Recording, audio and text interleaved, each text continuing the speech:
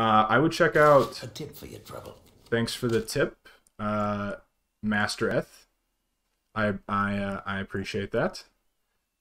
Oh yeah, Master Eth uh, made a really cool video the other day on the Box Assassin. So go check out his channel. I think that's how you spell it, Master Eth. Uh, but go check that out. He makes some really cool videos.